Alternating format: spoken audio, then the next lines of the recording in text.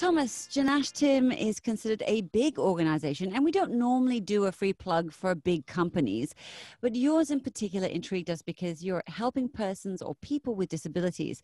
So tell us about why you embarked on a journey to help um, persons with disabilities. And, um, you know, do you have a member in your family? Tell us your story. Um, first of all, can I just ask what do you mean by big? Uh, no, not because normally our company, uh, our Free Plug Friday, we only do like uh, small home-based businesses to promote For- them. Yeah, okay. less than less than five five employees. Yeah. It's a home. It's a cottage, real cottage, like from the kitchen. Yeah. Yeah. I still, I still consider myself a, a, a Genashtim a kacang putih company. You know? okay. Okay. okay. So actually, uh, um, well, the reason why I started this is because um, you know I've been a corporate man for 25 years. I've worked in big multinational companies. Um, was an expat for 15 years. Uh, by the way, I'm originally from Penang, and um, and uh, we won't hold that against you. No, I'm very proud. It's one of the things I'm proud about is Penang. You know. right. So uh, uh, when I left corporate life at a very young age, I was 47 years old. I wanted to spend time with the family because family had moved to Melbourne, and uh, I thought I'd take a few years off. But during that time, when I left corporate life, I joined a computer school for the blind, board of trustees. I was invited, and um, and when I saw how a blind person used the computer, I was totally kind of uh, you know amazed and and I asked them, so how many of you after the training actually work? Because I could see that they could work, you know. But unfortunately, most of them, eh, you know, um, don't work. I mean, if I'm not mistaken, hardly two or three of out of 500 blind people they train were actually working. So I, I tried to, as a board member, tried to, you know, because I, I knew a lot of big companies and their CEOs, tried to introduce them and everybody is always amazed, but then um, and want to do something with these uh, blind graduates. But then in the course of implementation, it doesn't work. It is just everybody is busy and, you know, and, and you, you spin your wheels for, I spent two and a half years doing that and decided that that was not getting me anywhere. So I decided that, you know, let's start a company and let's put them to work. And, uh, and that's, that's how it started. And of course, you know, the blind are actually a bit of a challenge. Um, because there are certain things they cannot do, you know. And um, and so we thought, then what about other disabilities? So if you're in a wheelchair, then and you have full use of your other faculties, then you almost have no disability. And what we did was because we started this in the Philippines, commuting was a major, major problem, even for normal people. Mm. Uh, it's not uncommon for people to spend two to three hours commuting each way to go to work. And uh, Oh, yeah. and so for people with disabilities, it was really, really difficult and expensive, you know. So we had to to make it work. We had to start with a work from home model, and so we, are in a way, very, very Ahead of the game. You guys are ahead of the game. Yeah, we are hundred percent work from home um, uh, since well more than twelve years, and um, and we have now 130 people on the payroll, and they are scattered over six continents.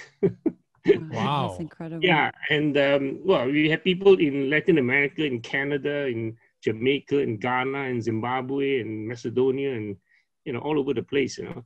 And um, um, so, so we were very um, fortunate that we started with that. So today we have a very interesting uh, remote work company, which most people still don't understand.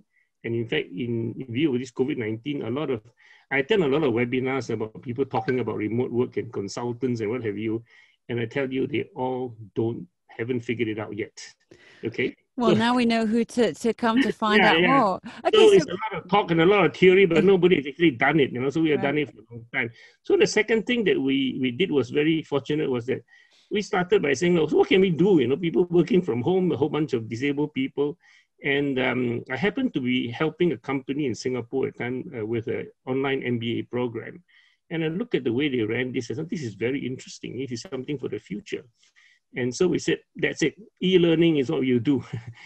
And uh, I think it was the it was the right thing today when you look back now. But we were at least seven years too early. right. right. So uh, the company bled for six years. We only started to break even in year number seven. So over the last five years, we managed to make modest profits because every time we make a little bit extra profit, what we do is we hire more people hmm and train them and develop them. So um, yeah, so it's been a bit of a struggle, but today we are, I would say, very very comfortable. Well, I wouldn't say very comfortable. We are comfortable. Thanks, actually, I'm sorry to say this, but thanks to COVID nineteen, our business grew by fifty percent last year. Well, you know, it's it's always nice to hear stories where people have benefited. Do you know? Um, that's always a positive note. Um, we can all feed off. So tell me, Thomas, so what's your guiding principle that's kept you thinking about the importance of helping people with disabilities? Well, I think it was. I, think throughout my my, I came from, uh, I would say, um, lower middle class family. I mean, from Penang, a small town in those days. Uh, my my parents never had any form of motorized transport, not even. Um, they went around on bicycles, and uh, and we never had our own home. Uh, uh, we lived in my grandmother's house. Um, so, but I managed to, you know, get myself a good education and um, and started a corporate life, which I did I did very very well. I must say that, uh, and so I was supposed I suppose even in the earlier parts of my career, I've always been the kind of person who would be cheering for the underdog, Mm. even in in sporting activities. You know, I'll be cheering for the underdog. So I suppose there's that kind of thing in my mind that you know the the underdog is somebody that we should not forget. You know. And um, and of course, this stumbling onto people with disabilities was quite by accident. I mean, I I mean, I was the country manager for my last company in, in the Philippines. I mean, I had a lot of invitations to sit on the boards of NGOs. I mean, uh, and um, and I, I would never have time, right? I was working seven days a week, and and when I quit my corporate job, I was stuck with the garden leave clause. I don't know whether you understand what that is. No idea. What is that? What's Yeah. that? Well, Garden in, leave in clause. companies in very senior positions, and I didn't even know that when I signed all the papers to join the company, there is a garden leave clause which says that if you quit, we have the right to say we continue to pay you for one year to sit there and do nothing. And Right. call. So I was kind of stuck in the Philippines, you know, on my own. my family was in Melbourne. I could travel and go home and see them as often as I like, but at short notice, I have to be in Manila and uh, and so I had plenty of time on my hands. So um, so I had to you know say yes to one of the many invitations to join this uh, NGO. So so that was the that was the turning point actually that I learned to see how you know and of course when you work with people with disabilities and you get to know them well, I mean they become my best friends. Um, you then realize that um, given the right opportunity, they, they can thrive, right? I mean, I have people who work with me for more than 10 years, you know, Mm. uh, uh, and, and I give one example. I mean, Ryan is one of my first hires in 2008, I think it was. And, um, and he's polio victim. He's in a wheelchair since the age of two. He has limited use of one hand and he's blind in one eye. and he doesn't have any um, college degree or anything, right? So he's living in the slums when I hired him. I actually went to see him and he had a mattress underneath sta- some stairs and he slept there with his wife. Wife has only one arm. And, uh, but he managed to train himself to use the computer. He was doing a little bit of, at that time he bought a dot matrix printer and helped some small Oh. companies print forms, you know, uh, that kind of thing and made a few cents, you know, along the way. And uh, I've been with- Entrepreneurial spirit he had. Yeah. and today he he he manages uh, the biggest department in the company. I think he's at 25 people under him. Wow. My goodness. doing, So- jobs, he's doing jobs for the Singapore government, for Microsoft, for you know, yeah. Wow. So when you say that they they train themselves in computers, so basically, is it coding or do they just do word processing or? Um, everything. Uh, so we have, uh, for example, we have Dui from a place called Dong Hoi in Vietnam, and even he uh, he he has no formal training in So, computer. Tho- Thomas, so can we just interrupt you a minute? Can you just turn all your notifications Yeah, off? I know, Yeah, and on your computer too. If you could just um just pause them or just go into sort of uh, night mode or do not disturb just for a while. You're a busy man and, and we're hearing it all, which is lovely, but Let me just shut this uh, Sure. few things which I have here. Um, so Doi, I mean, same thing. I mean, he doesn't have any formal training in computers or anything. He just learned coding himself. Right. Uh, today, he's our top uh, programmer in the company, and he's coding uh, platforms for companies with 3,000 employees. Gosh, I wouldn't even know where to start to learn to code myself. Me either. Yeah. I, I, can't, I don't know how to code. So, uh, Right. but you know, it's one of those things, right? Mhm. So what if you're in a wheelchair? So what if you can only have one hand? So what if you, you know, and and we have a large number of refugees who work for us. So what? So what if you're a refugee? You, you can you can do this. Yes. Given an opportunity, anybody can do anything, right? Yeah. Exactly. And, and, and, our- and our clients are all over the place. So we have done, you know, for doing, he's done projects with uh, companies in Thailand, in Malaysia. I mean, uh, and he's Vietnamese, Mm. Vietnam. So, Thomas, what are the biggest challenges you face when trying to get a um, person with disabilities into the workforce?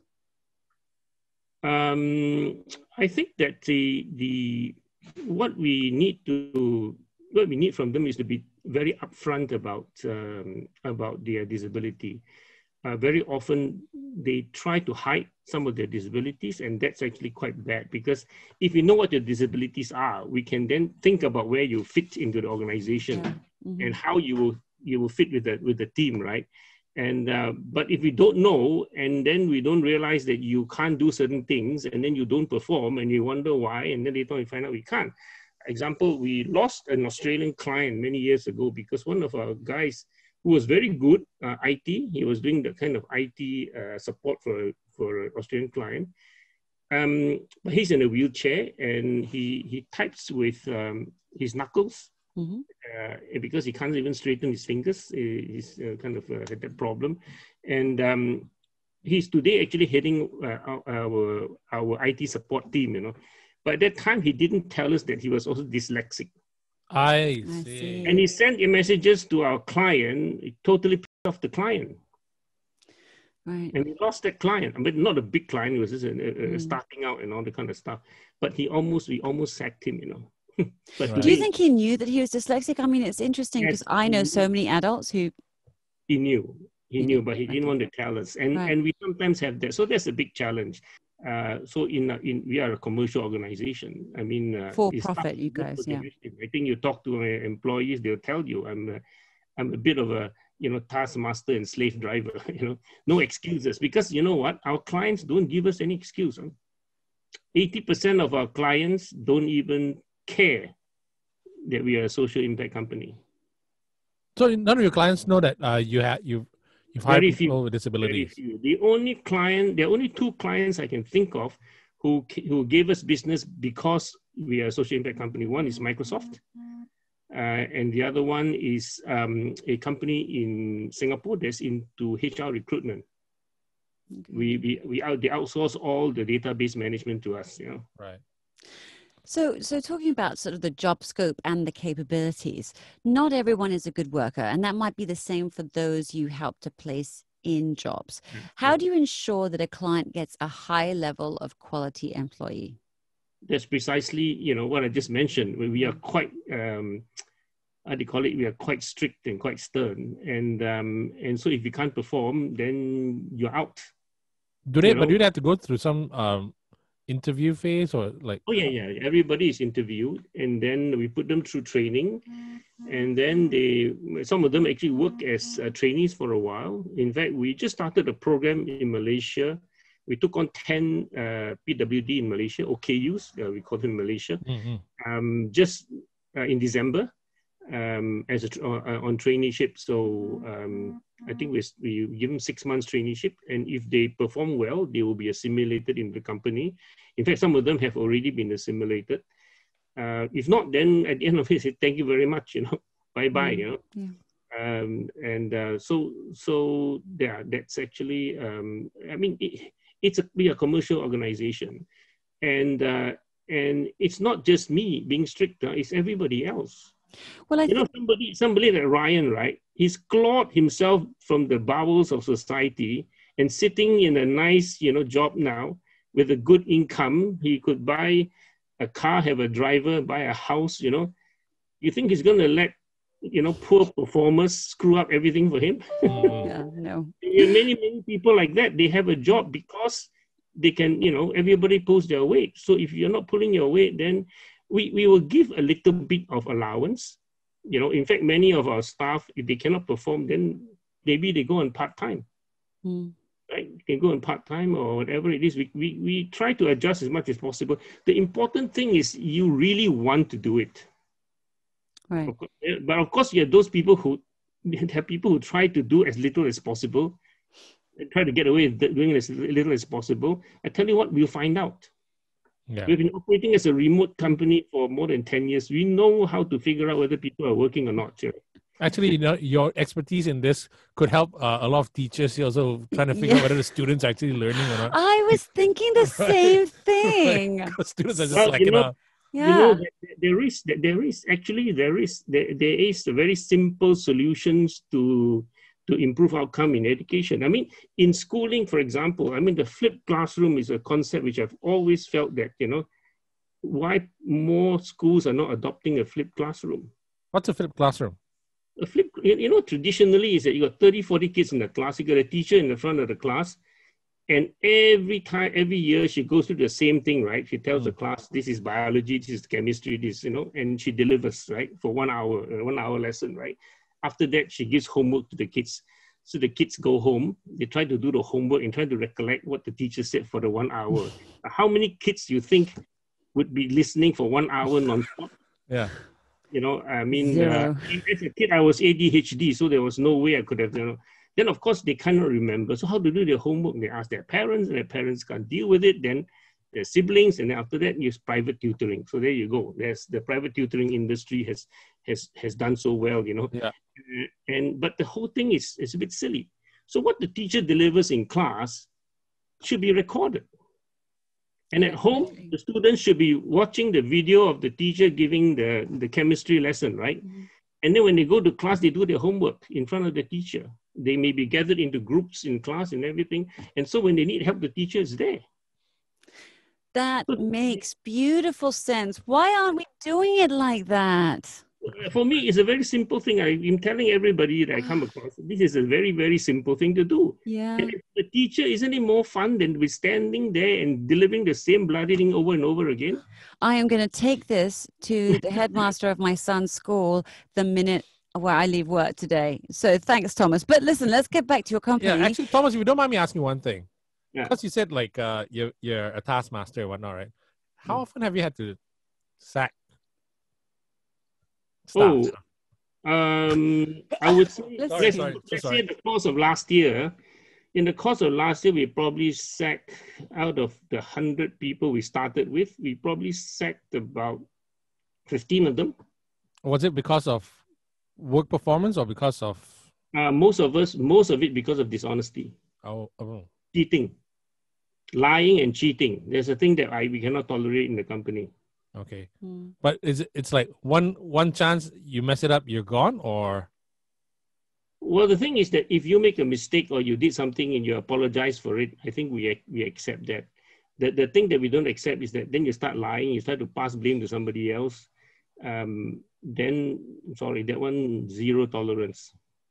It's hard to step out of the survival mode of, you know, doggy dog world, Yeah, though. yeah. Yeah, I understand that. Okay, so Thomas, you you know you started with um, persons with disabilities, and today you're helping refugees, retirees, and other marginalized communities. What was the sort of catalyst for the shift of focus? Well, when we started, it was quite clear that we would actually cater for marginalized communities, not just PWDs, right? Right. Uh, and connect them to the global economy. That's the mission of our company. And we have always stated that um, uh, we start with the with the P, with the uh, PWD, and and we've always talked about refugees. I even have discussions with um, leper communities. hmm Um, I talked in, in Indonesia. I talked to um, HIV infected uh, um, organization uh, people in Zimbabwe. hmm uh, talked to in Malaysia. I spoke to a dato regarding um, ex offenders, um, even working with people in the penal system.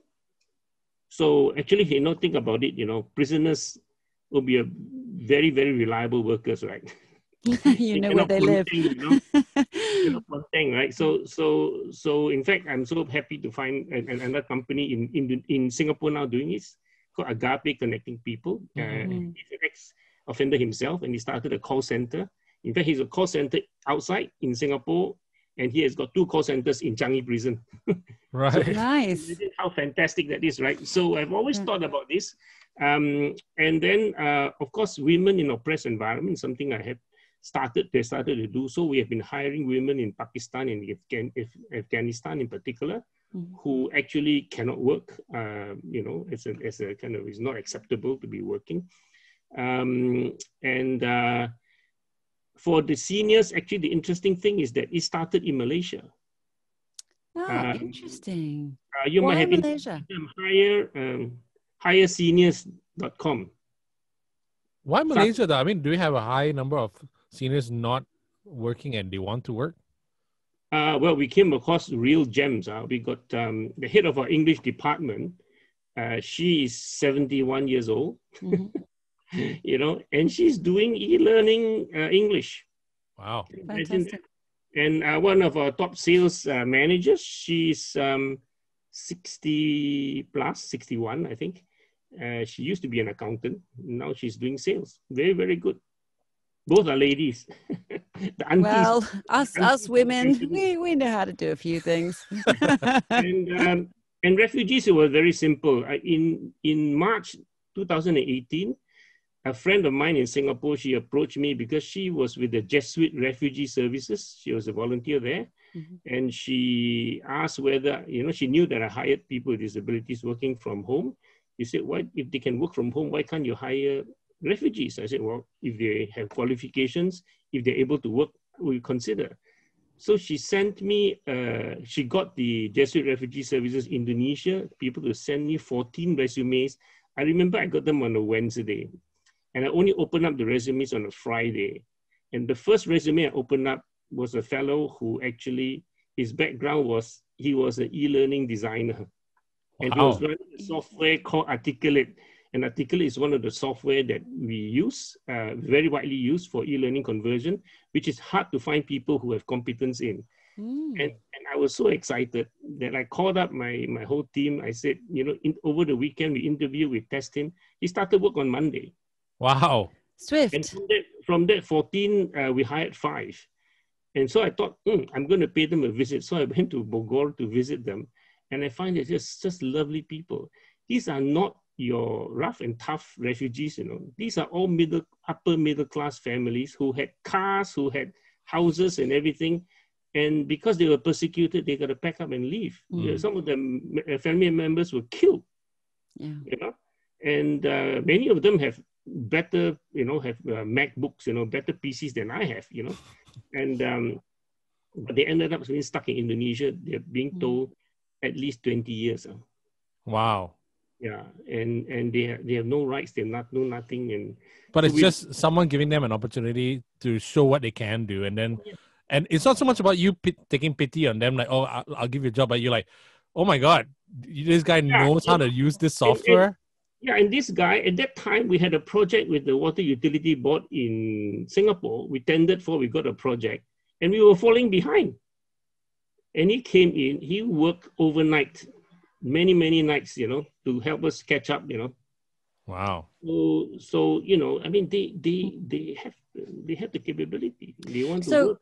they have the capabilities, obviously. Otherwise, you wouldn't be hiring them because you're a for-profit company. So I love that, right? Um, but most employers would be skeptical to hire a PWD and you know um, someone from the marginalized communities as well. Has it gotten more challenging to find and train these individuals, or less lately, in the past couple of years? I would say, yeah, less because uh, I think one of the reasons is because we do have quite a bit of visibility now. Uh, we are known, we have been published around the world. I mean, we were in Forbes magazine and all that. We're published by two German government publications. So we have a lot of people apply to us. So it's a lot easier now um, to find people. Um, but to find good people, I think it's similar with the normal environment. It's always difficult to find good people, right? So, so in our situation, um, yeah, it's, it's not so easy to find the good ones. Mm. Uh, the, you know, the, the little, you know, the rough diamonds. You know, Yeah. uh, and and and our, my experience is that their experience and qualification is not the most important thing. the most important thing is their determination. Mm, it's a mindset. So talking about rough diamonds, generally, how long does it take for you um, for you to train a potential employee before putting them through your organization? Well, the thing is that if you don't have, you are not using a, a, a PC and accessing the internet, then it's not worth the, the us trying to to work with you because you know I think something is I think something will be wrong if you're not somebody who actually uses the internet today, right? Mm. Um, so it will be really be a bridge too far, you know. So basically, if you're accessing internet and using a PC, you we can actually train you. Um, the training uh, um, can take probably, I would say, the good ones can complete the training in a matter of three weeks. Right. Gosh. Some people take up two months. Um, that's because still zippy. We put you through what we call a virtual office training. Mm. Right. So you learn all the tools that we use and all that. So and Company culture, stuff like this, right? Yeah, then you go to go to company culture uh, training, and we call it the NTMO, new team member orientation. That takes, or that will take actually a few months, but the initial training will be quick because with the onboarding, we actually have somebody who will kind of be your buddy and you know take you through the. You, you're always somebody that you can talk to um, as a new employee. I think for the first at least three months in the company. Right. You have a That's kind of a always mentor. nice. right? Yeah. Yeah. So, do you have any exams that uh, your trainees have to undergo? Yes, yes. All the training has they have tests. Yeah. So, did they come up with a certificate from you then, or a certificate from that course? Yes, we can actually issue a certificate. In fact, uh, in Singapore, we actually have run this for the uh, programs funded by the Singapore government, Mm. and uh, and issued some certificates. Yeah, we can we can issue certificates. It's not an issue. Okay. Yeah. So, so um, you know, regular headhunting companies sometimes, you know, get the signing bonuses and stuff like that. How do you guys work on that sort of premise as well? Signing bonus. hmm Um, in our case, we don't have to uh, give signing bonus because most of the people we employ are not employed. You're right, right. okay. Are there any cases where um somebody is really, really highly qualified to do a particular job and you really, really want him, but because of their background, because of what they've been through and everything, um, mentally, emotionally, they've been affected. And do you ever do any um checks on that? Do you have a, a test for that as well? Mentally affected. Yeah. Mm. Or even support system for Yeah. that. Yeah. Well, I think that um, we will take them on. We have had um, a number of people. In fact, last year we had two of our employees who had to stop work because of mental health issues. And when we took them on, we knew they had mental health issues. No, sorry, one of them we knew had mental health issues. The other one we didn't know. You know, uh, we tried very hard. We tried to talk to the, the the family and all that. And there was one of them who actually had to stop work, then came back, had to stop work again, came back again, and then the third round we just said we just can't deal with this anymore, right? So we do give uh, opportunity. Uh, I give another example. Um, I think he won't mind me mentioning this. Our HR, our HR director uh, had a very, very illustrious career. He worked for big, big multinational companies. I think that his last HR job, he managed, he managed HR function for a company with 40,000 employees. Jeez. Gosh, okay. that's large. Yeah. So he, his parents passed away, and he slipped into depression. He had to stop work, and he went for treatment for one year. And after that, it was kind of difficult to get back. Uh, you know, so he found our company and applied to join our company. And I told him that you know I cannot afford you. You know, your last drawn pay was twelve thousand US a month. Jeez. You That's know? a tidy sum. Yeah, yeah, yeah. So uh, in the end, he just said, you know, I'm prepared to work for next to nothing. It's not about the money. Right. No, I'm just wondering because, uh, with, especially with refugees and whatnot, Mm. they've come through some really tough times. I mean, like some of them might have PTSD or whatever, and then uh, I don't, I wonder how. They And can then the pressure with- of like learning and then going Correct, to new work environment. Yeah. right? I'm just wondering Yeah. about that. We, we, we try very hard uh, to, to, to deal with that, but we are not experts. Um, we actually have ex- external counselors. We pay for external counselors to, to look after our people, and anybody who wants to talk to our external counselor uh, can do it totally confidential. We don't know who goes and how often. Mhm. All we get, because we trust our counselor, she's actually a PWD herself in Jamaica. Oh, And, cool. uh, and she sends a bill every month, and we just pay. I like. Gosh, I, love it. like. Yeah, I, I, can you be my boss? Everybody's just very. Everything's very objectively done. I love Yeah, it. Yeah. so Yeah, tell us a story, sort of um, uh, like a sort of start to finish story of someone who's come through Genashtim and uh, you know succeeded beyond your imagination. Uh, well, there's so many. I mean, the one that I mentioned earlier on, Ryan, I mean, it's one example. Uh, the other one, um, I'll give an example, would be, I mean, I talked about Dui from, from Vietnam, right? hmm So who else can I talk about? You know, I can talk about my executive assistant. Her name is Nadia. Uh, and um, she actually lives in, or she was living in Bagan Bagansarai, a small town in northern Perak. Hmm. Uh, she just got married last December and uh, now moved to KL. The husband is in KL. Uh, Nadia has cerebral palsy and she um, she can move only the tip of this finger, right hand, only the index finger, only that part. She can't even bend this this next, you know. Gosh. And so her mother, you know, cleans up every morning, sits in a chair, turns on the computer, puts her hand onto the mouse, and the mouse is upside down. You got to figure out how to use the mouse upside down, and then she works. Okay, and uh, and she actually worked for a, a, a subsidiary of Job Street before, you know, with formatting resu- resumes and all that. So when she joined us, she did various positions in the company. I mean, the support and this and that, uh, you know, operations, and she got do, she did so well in the in all her uh, her, her different jobs that um, she started training our new staff. And so when I needed an executive assistant, um, you know, she I thought she would be she so she actually runs my life. Brilliant. Something you know. Uh, uh, you have to go through her because I don't, I don't, I hardly put things into my own calendar. Also, basically, this interview, this chat, It's was organized by to Nadia. yeah, I, I only kind of see it on my calendar and say, Thanks, oh, I, Nadia. In fact, Thank you. in Thanks, fact, I was, I was wondering. I said, I don't have any information. I don't have a list of questions. I don't have. I'm going to this totally, you know. Right, right. Yes. Without any foreknowledge.